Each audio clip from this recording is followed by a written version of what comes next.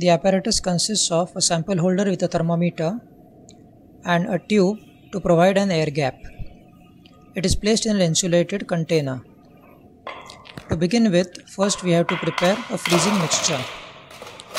Now in this freezing mixture we will be taking ice and common salt that is NaCl.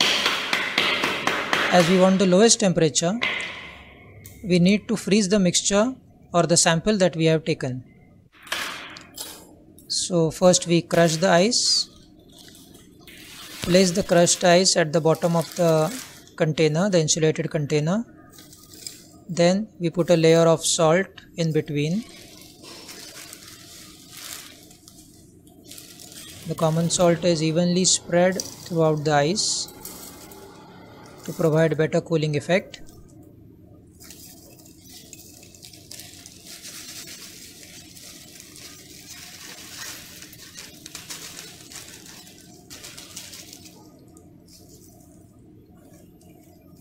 Then we put one more layer of ice on top of it.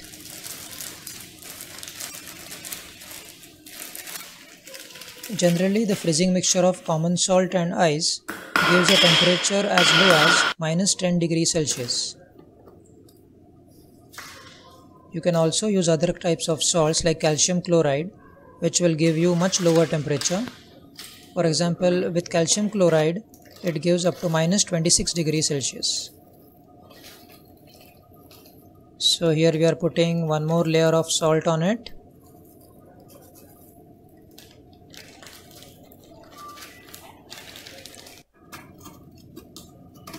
Then we fix the lid on top and make the chamber airtight so that there is no heat loss.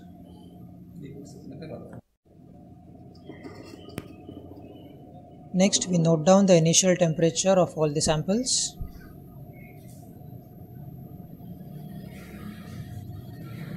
These thermometers are special thermometers. They start from 20 degrees Celsius. After every 1 degree drop in temperature, we take out the test tube and then observe it for the cloud point.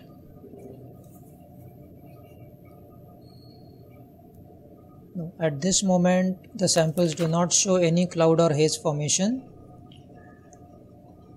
so we put it back again in the freezing mixture to allow the temperature to fall further.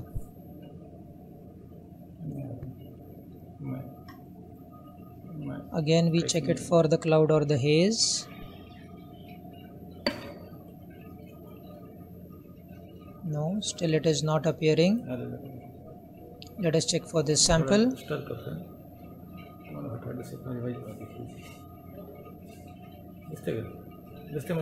Yes, on shaking the sample, do you see the cloud and the haze inside the tube?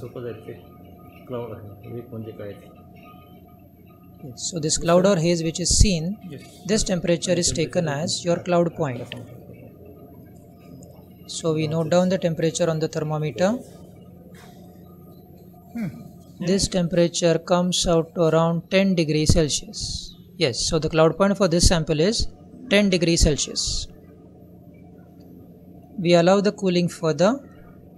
And now for every 3 degree drop in temperature we lift the test tube and find out if it is frozen if the sample gets frozen.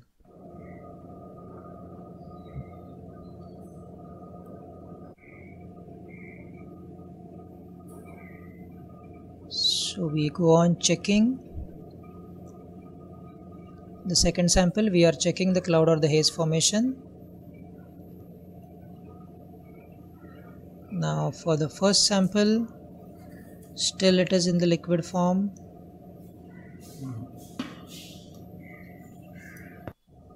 No.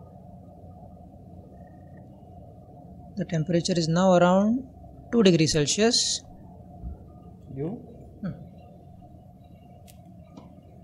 still dropping maybe around 0 degrees celsius. So now if we tilt this thing and keep it for 5 seconds, the sample does not move or does not flow.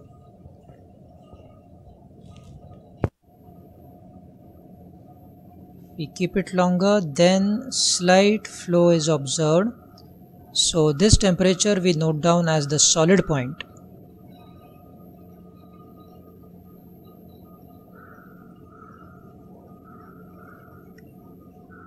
Yes, it is not flowing. So the temperature is noted down as the solid point.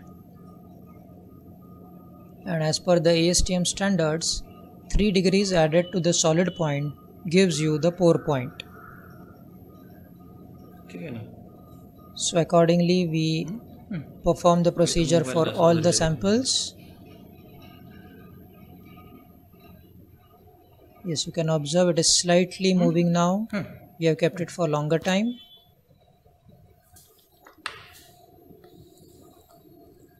so we read the temperatures on the thermometers and note them down as the solid points and the pour points